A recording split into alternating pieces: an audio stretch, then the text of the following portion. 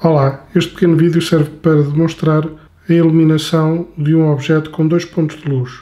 Esta será a iluminação correta, só com um ponto de luz, sem um ponto de luz como ficaria, voltando novamente a pôr ponto de luz do lado esquerdo, ponto de luz deste lado do lado direito.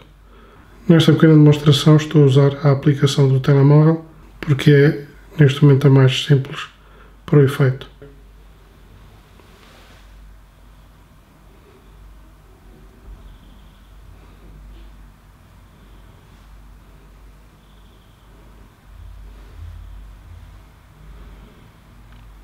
Posso fazer, posso linkar os dois, desligar os dois,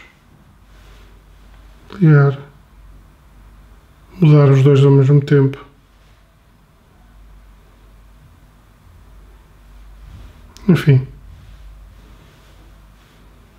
tudo com o poder de um clique.